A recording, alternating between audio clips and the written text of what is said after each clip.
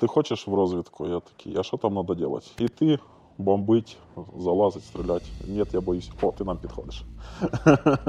Моя робота насправді більше інтелектуальна, чим фізична. Фактично, ми своїми руками людей не вбиваємо, але ми заучені до великих е, обсягів знищення ворогу. Ти відчуваєш свою важливість. Нам колись хлопці дзвонили і казали, знайдіть того танка, що стріляє по нас, тому що він нас розбирає. Ну, ми його знайшли. В безпілотній авіації як такий майбутнє. Бойові виїзди, ремонт машини. Бойові виїзди, ремонт машини. Якщо нам уже щось прилетить, то прилетить доволі крупне. Що отримує Кавказ від Росії? Не так багато, як навпаки. Ми, виходить, очі цієї війни.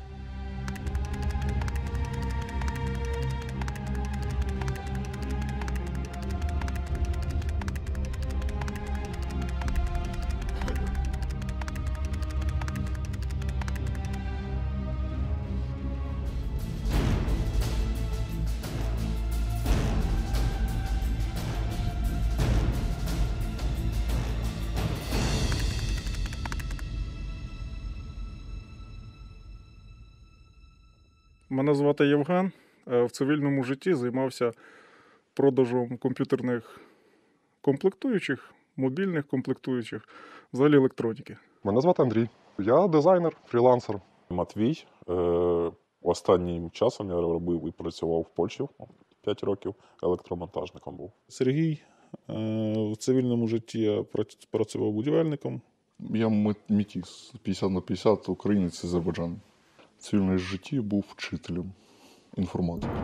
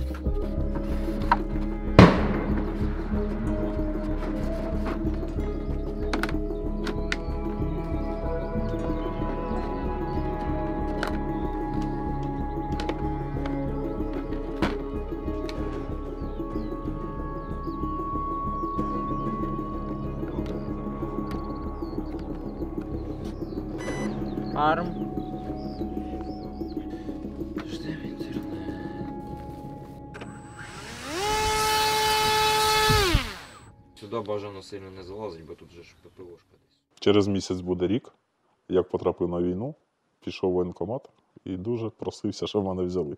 Так як нема здоров'я, це затягнуло трохи время.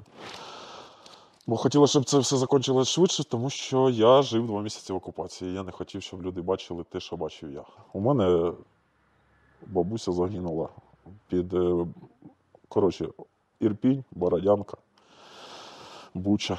Це все там, де були. І вони ходили по підвалах, дострелювали люди. Так вони звільнювали нас від чогось. Мотивація була в мене два сина вдома. Ну, що я буду їм казати, коли спитають, що я робив, коли йшла війна. Коли почалось повномасштабне вторгнення, я там одразу пішов. Проте у мене була травма ноги. А була вона через те, що свою похресну була там у Львові повітряна тривога, зносив свою похресницю, це було вже в, ну, вночі. Вона спала якраз. І на останній сходинці, ну, типу, зачепився, собі там трошки кістку зламав. Тому я тепер їй кажу, що вона, можливо, врятувала мені життя, бо якщо б пішов би швидше, то може б вже і тут не сидів би, не говорив.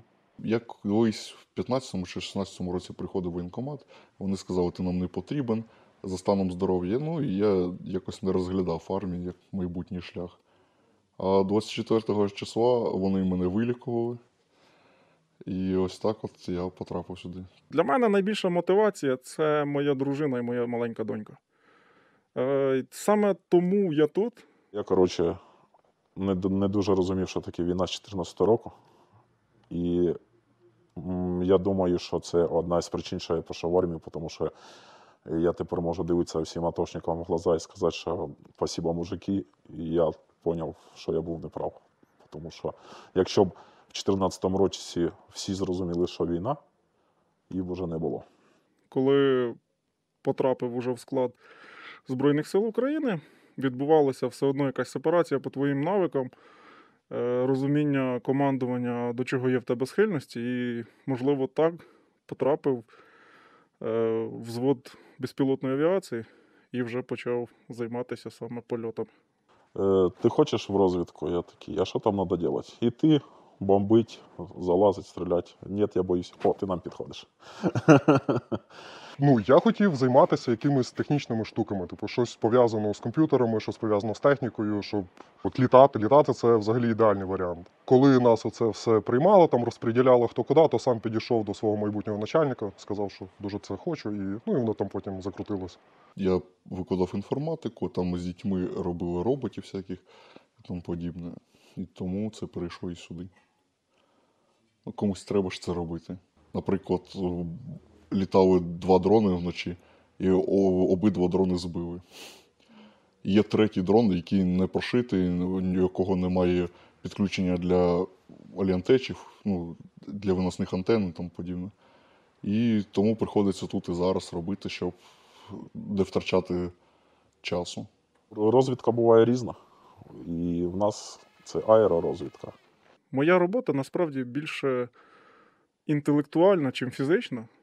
Е, Але результат е, він відчутний насправді. Я думаю, що наші противники його відчувають, і це дуже б'є по і економіці їхній, і по. І фізично вони відчувають цей момент. Бойові виїзди, ремонт машини. Бойові виїзди, ремонт машин і десь між тим всім ну, там їда і так далі. Приїхали, розклалися, доповіли, що на місці. Ну і чекаємо команди на взльот. Полетіли. Ну і вже в залежності від задачі, чи в нас розвідка, коригування, чи там дорозвідка. Ну, дорозвідка це коли там ми знаємо, що там щось є, але не знаємо, де точно. 6-8 годин, десь приблизно так. Наша специфіка заключається в тому, що ми повинні знаходити артилерію, самохідну артилерію і причіпну артилерію противника, е, їхні засоби повітря... протиповітряної оборони і там засоби РЕБу. Ми їх знищуємо.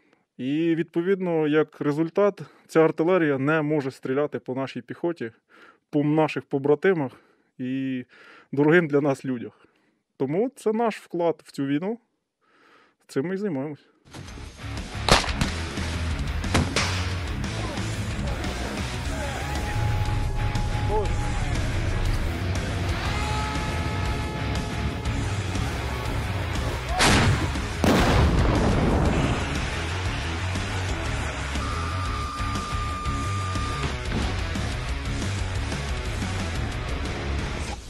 Коли ти летиш, допустим, десь 30 кілометрів від себе, знаходиш якусь гармату і просто по карті прив'язуєш її і даєш координати, щоб було нанесено вогневе ураження. Коли попадає, це круто. Ну, ще круче, це коли ти вночі коригуєш артилерію і просто своїми словами попадаєш в танк. А до цього ти просто не знав, де захід, де схід. Ну, типа, якось так було. І просто ти кайфуєш від того, що ну, от ти там зірвав якусь пушку, і це те, що по хлопцях не будуть стріляти. Нам колись хлопці дзвонили і казали, знайдіть того танка, що стріляє по нас, тому що він нас розбирає. Ну, ми його знайшли і уразили. Ну, значить, чиї життя були врятовані, і це кайф в якомусь сенсі. Ми робимо, я вважаю, колосальну роботу по захисту. І ну, ти відчуваєш свою важливість. Фактично, ми своїми руками людей не вбиваємо, але ми залучені до великих е, обсягів знищення ворогу. Коли ти бачиш результат своєї роботи, ти просто розумієш, що ти на своєму місці. І це не нашу роботу не применшує не, не привеличує, тому що хлопці, ті, що піхота, то люди і не розвідка, вони і просто вони своїм життям, своїм м'ясом, як кажуть, добувають нашу перемогу, а ми просто допомагаємо їм кудись не попасти або кудись не пойти, тому що ми, виходить, очі цієї війни. Так, Так, що у нас до першої цілі? Минут 5, да? Угу. Так, Жень, давай лівий доворот. І ми вже. О, о, о, о, у мене розчехлилась камера. Ось ціль у нас. Е, є підтвердження першої цілі. Передивись ще раз вона ж. Працювати, да. Все, є підтвердження, можемо працювати. Вона ось тут. Плюс, будь ласка. Зону ураження попали. вроді.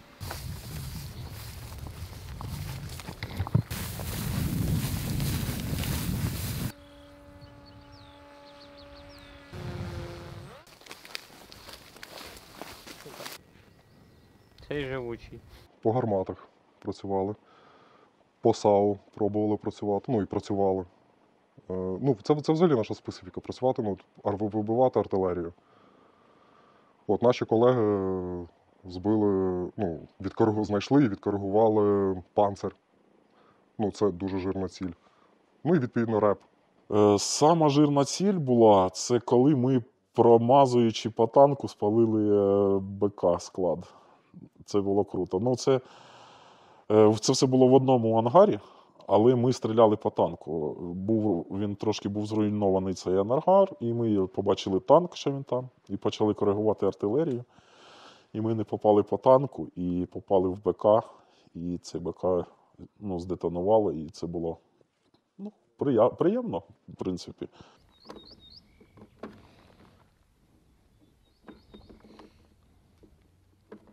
дощ, сильний вітер. Ну, це, це якісь такі проблеми, які є притаманними для всіх оцих БПЛАшок. Ну, скажімо, якщо, не знаю, там вітер східний, ми повертаємося назад, ну і просто двигун не стягує. Типу, він може, вона може не долетіти. Якщо там, от, там волога, дощ, не знаю, там є оця трубка піто, яка там швидкість вимірює і так далі. Е, воно буде погано щитувати дані, і так само там може бути аварія там обмерзання, там ще щось таке. Щоб пташка налітала там, наприклад, 100 годин, це, це чудо. Тому що дуже, дуже, дуже багато ПВО. Я не знаю, як на інших напрямках, але на нашому точно. Тому що е, вплоть до того, що є там определені міста, ми знаємо, де вони знаходяться, там, і типу, питаємося якось обійти, обминути. Ну, не завжди виходить, і вони так само переміщаються, якось змінюють свої місця дислокації. Тому це в основному лотерея. Вилітаємо на завдання, ну, там, робимо роботу, і бувало таке, що вже зробили колосальну роботу. Ти бачиш, що ти багато чого знайшов, і повертались додому, і нас просто збили. У нас був випадок, ми полетіли над Бахмутом, ну там біля Бахмута знайшли гармату, підкоригували по ній, і тут ракетка вилетіла, і все, у нас нема борта. Ну, як я казав, ми очі, то нам їх хочуть закрити. І чим ми краще маскуємося, тим е, довше живемо, так сказати. За нашим літаком також полюють їхні сили протиповітряної оборони, зенітні засоби, плюс переносні, їхня піхота також можливо. Ну і відповідно життя самого екіпажу також це небезпека, тому що якщо нас запеленгують, якщо ми зробимо щось неправильно, ну, по нас також прилетить, тому що ми являємось для них також пріоритетною ціллю. Пташок ніколи не вистачає. Навіть е, якщо вони є, це не значить, що їх через півгодини вже не буде усіх. Реп працює як їхній, так і наш. Іноді бувають колізії, коли реби друг другу перебивають і падають пташки. Якщо летить якийсь великий борт їхній, то за ватом чи ланцет, чи щось ще, то реб можуть вмімкнути, навіть незважаючи на нас, тому що перше, ну, перше с- робити так, щоб їхній дрон не долетів. Вони ставлять в пріоритет більше знищити їхній дрон, чим врятувати наш. Від цього залежить і життя наші, можна сказати. Ну, ланцети це дрони, які знищують броньовану техніку, артилерію, танки, які стоять і тому подібне. Небезпеки на війні завжди є. І як мінімум на кону твоє життя. Е, Я не буду брехати, специфіка відрізняється від специфіки простого піхотинця. Е, якщо їм загрожує, помімо там арт е, е, купа дронів, скидів, які падають їм на голову, то все одно ми працюємо, так як в нас є можливість залітати набагато далі за лінію розмежування, прямо до них в тил. е, Ми відповідно взлітаємо трошки далі. Тому, ну, скажімо так, якщо нам уже щось прилетить, то прилетить довольно крупне.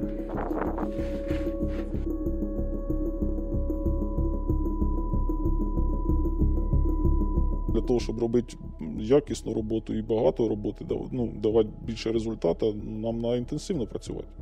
А ми просто намагаємося берегти, скажімо так, те, що є.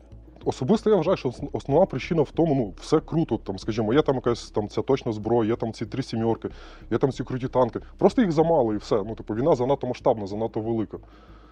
Ну просто, от, скажімо, там по телевізору показують, що там наші леопарди, там чи там наша аеророзвідка там щось там знайшла. Але ж бляха муха, ніхто не знає, скільки ну, було потрачено ресурсів, ну, які закінчилися нічим. Просто всього замало. Ну і все. Треба більше зброї, більше техніки. Якщо б у нас, скажімо, не знаю, там от ми воювали тільки отут там на Бахмуті чи от лише там на Запоріжжі, типу, тоді окей, типу, там зігнали там зі всієї України там цю всю техніку і собі там валимося. Але ж ну, фронт великий. Із забезпечення особового складу, то в мене, в принципі, все є. І в більшості, кого я знаю, теж все є. І ще одяг. На початку війни було трохи з цим складніше з одягом, тому там видавали зимою літні берці і тому подібне.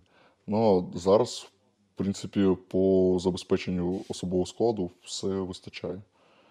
Е, Я б сказав би, що із браком це дрони, квадрокоптери, боєприпаси для крупнокаліберної артилерії, е, боєприпаси для мінометів, павербанки великих е, розмірів EcoFlow, Bluetti, е, Бандерики і тому подібне. Старлінки оплачені, це теж рідкість зараз. Старлінки в більшості або волонтерські, або самі купляють. І ремонт автомобілів теж виходить. е, Але зараз майже напевно вся армія так. І наші, можна сказати, начальники так само і купляють і ремонтують автомобілі за власний кошт. По началу війни е, нам всім засоби масової інформації розказували про те, що ми воюємо просто з дегенератами, які там з трьохлінійками Мосіна, е, з ППШ і тому подобне. Насправді це не так. І велика проблема в тому, що дуже багато навіть моїх знайомих в цивільному житті вони в це вірять. Вони вірять в те, що ми воюємо з недоармією, ми воюємо там з розпіараними ребятами, які не вміють робити свою роботу. Це брехня абсолютно. І цей міф треба розвінчати один раз і назавжди. Це сильна вмотивована армія з дуже гарним забезпеченням, і там вистачає реально класних спеціалістів. Вони дуже швидко вчаться. Оце великий мінус для нас. Тому що якщо на початку війни ми вигравали майстерно за рахунок адаптивності, за рахунок пристосовування, за рахунок е, е, нетрадиційних методів війни, креативу, е, і для них це було дико. Вони дуже швидко почали вчитися. Вони налагодили виробництво дронів. Вони налагодили. Вони зрозуміли, що в безпілотній авіації як такий майбутнє. І це те, що допомагає нанести максимальне враження противнику, але разом з тим зберегти життя е, сам, ну, типу, людей. Тому розслаблятись нам немає коли. В багатьох людей війна закінчилась в головах, у багатьох не починалася. І просто дивившися, як це все було на початку повномасштабної, просто люди на своїй хвилі фінансовій, волонтерській несли нас кудись вперед, а зараз усі просто починають, може, привикають до війни, ну коли приїжджаєш у мирні міста і дивишся людям в очі, в них немає війни. А якщо ти ходиш ще не по формі, то вони. Ну, це печально. Просто всі повинні розуміти, що кожен повинен укладати якийсь вклад робити. Не, не всі можуть воювати. Але треба розуміти. Ну, це, мабуть, в цьому і програємо, що не всі розуміють до кінця, що це війна. А по мені не попаде. Ну, так багато хто думає. Ну, ми так не думаємо. Того ми і тут. В чому ми сильніші за противника? Ну, мені здається, в мотивації насамперед. Тому що кожен з нас розуміє, для чого він тут і для чого він воює. Оці от версії про те, що потрібно домовлятися. Там нема з ким домовлятися. Тут питання виживання як нації. Що мені дуже подобається, я вважаю це великою суперсилою Зб- Збройних сил України. Це в тому, що в нас е, офіцерський склад, сержантський склад це молоді хлопці. От це великий плюс. Це зовсім відрізняє мислення цих, цих людей.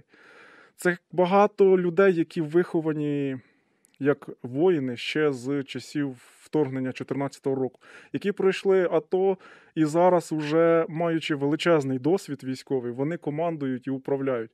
І це дуже сильно відрізняється від просто книжкового, книжкової тактики, і так як їх там вчать на різних кафедрах і тому подібне. Люди знають про війну не по книжках, люди знають про війну свого життя, і вони дуже швидко пристосовуються, вони думають про свій особовий склад, і це і дозволяє, мені здається, так е, ну, майстерно нам воювати з противником, який нас перевищує в чисельності просто в десятки разів, який має страшезне фінансування, який має дуже багато техніки, але це не заважає нам робити їм дуже неприємно. І цю війну вигравати, не побоюсь цього слова.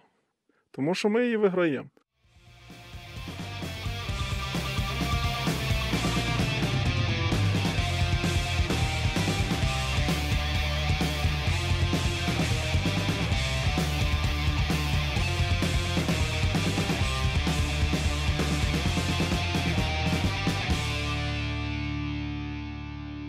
Я не пам'ятаю, хто сказав Дудаєв, напевно, що не треба ніколи трогати українців, тому що вони прийдуть позже і буде дуже погано, і вони заберуть усе і трошки більше. А трошки більше це буде Крим.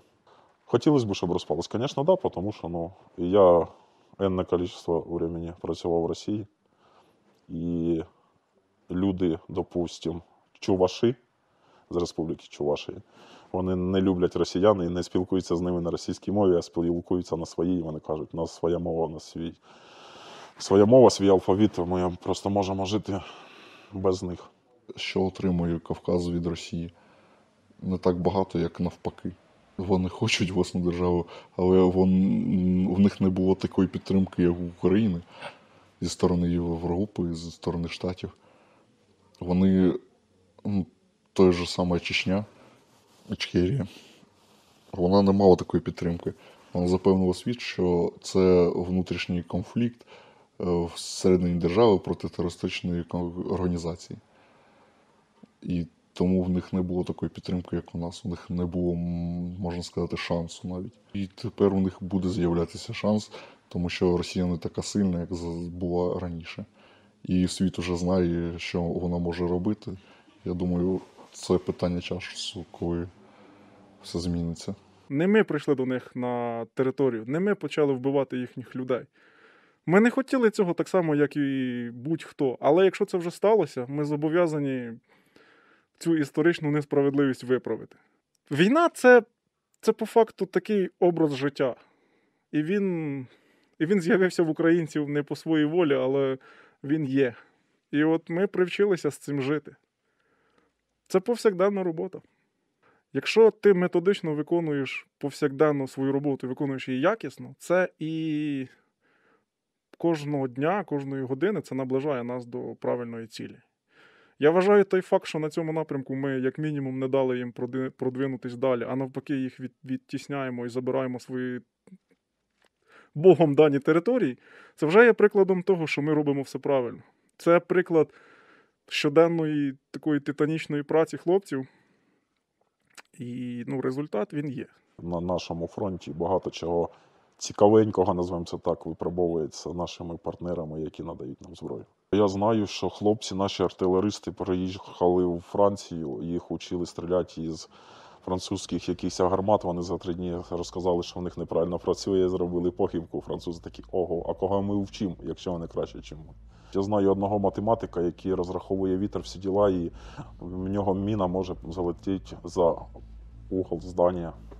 Мені круто, бо я виграю війну з строїтелями, з водителями, з дальнобойщиками, з учителями інформатики. Представте, як росіянам буде круто, що їм навтикали просто гражданські люди. Ми ж всі ж не воєнні. Емоційно триматись допомагає цей колектив, в якому ми знаходимося. Це дуже душевні люди всі. От з цим колективом можна, мені як здається, війну виграти легко. Ну, вір, віра в перемогу, напевне, тримає так в тонусі. Впевненість в тому, що ми виграємо. Мені подобається моє життя. Ну, я собі планую до нього повернутися і все буде, ну, щоб все було окей.